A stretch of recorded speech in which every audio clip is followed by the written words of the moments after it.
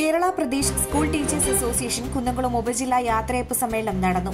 കോൺഗ്രസ് കുന്നംകുളം നിയോജക മണ്ഡലം സംഘടനാ ചുമതലയുള്ള മുൻ block Congress president K Jayashankar പരിപാടി ഉദ്ഘാടനം ചെയ്തു. സംഘടനയുടെ ഉപജില്ലാ പ്രസിഡന്റ് ശ്രീപത്മനാഭൻ മാസ്റ്റർ അധ്യക്ഷത വഹിച്ചു.